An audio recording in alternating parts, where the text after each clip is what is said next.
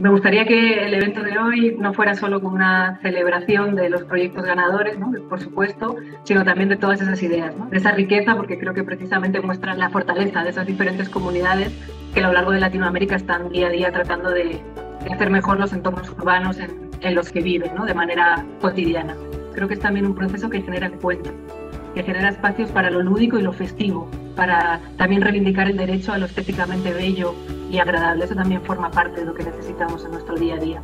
¿De qué manera podemos generar una construcción colectiva del espacio urbano, sobre todo que incluya las voces que habitualmente quedan fuera? Porque creo que solo de esa manera podemos tender hacia procesos más cohesionados y hacia dimensiones de la sostenibilidad que no se queden solo en la parte económica.